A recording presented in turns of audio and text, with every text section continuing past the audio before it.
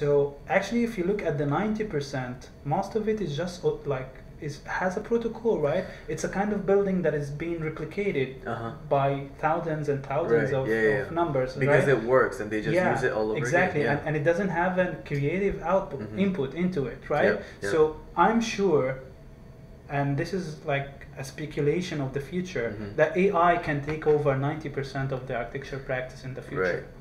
So the future will only have star architects. So we do like landmarks. So architecture would would become from a a, uh, a- like an artifact to a monument Mm, to mm, a mm.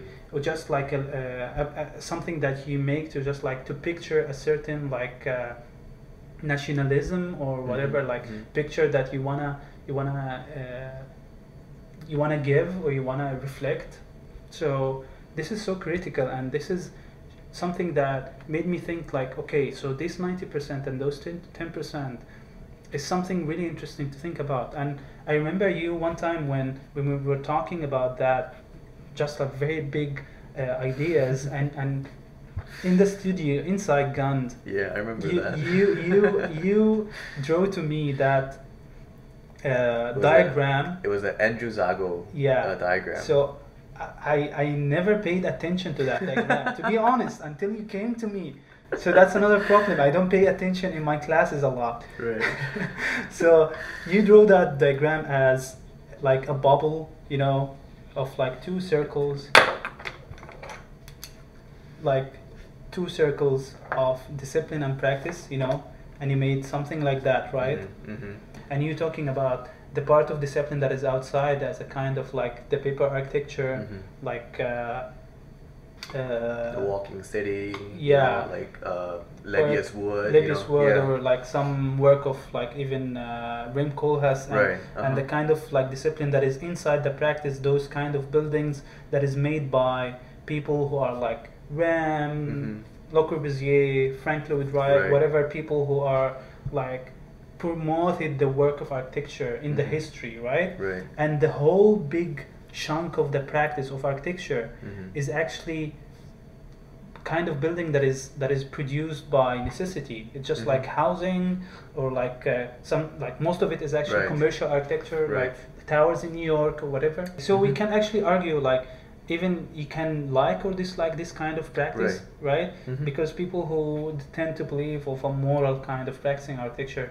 would be within the discipline and the practice, right? Mhm. And people who just want to make money would just like do that kind of practice, right? Right. And I remember you talking about that, and it, it's actually it made sense, Mm. but it seemed like it doesn't make sense of, of in terms of being complete. Yeah, it's not complete for exactly. sure. Yeah. So that's why I remember that time when I drew something that is more bigger than that, Right. right?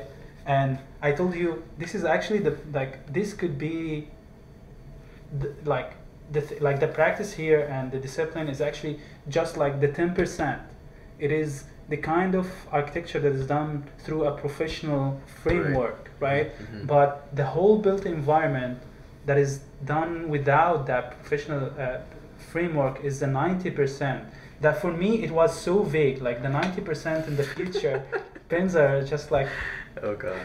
so 90% for me was so vague when we first talked about it Right. like I didn't know who to refer to as a Mhm. 90% because 90% can be the percentage of of the, the the buildings that is in the built environment that is built without professional input Mm. or it could be the the people themselves that Right. they're doing that right People who built their own houses and everything. Exactly. Yeah. Mhm. uh, it, it could be actually both of them Mhm. so like we like we kept developing that idea of like of like the the built in like the 90% of the built environment that is not that is non-professional you Right. know Right. like and i don't mean by non-professional like the very common way of non-professional but it's Uh-huh. just a way to describe that kind of architecture that doesn't involve the discipline and the practice of what an architect as we believe or Right. perceive is right Yeah. Yeah. so so and then those like the relation between those bubbles or those spheres or like those worlds like where's those uh, like relation can be who, who, who have the authority uh, on like to, to, to go between those things or like bridge those things?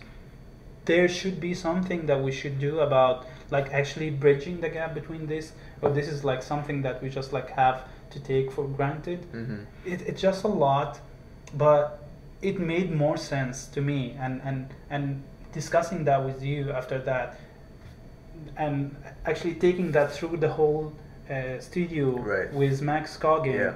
and, and and like presenting it in the final and taking a great uh, input from from guest critiques about those kind of observations that is out there in the in the in the uh, in the world Mm-hmm.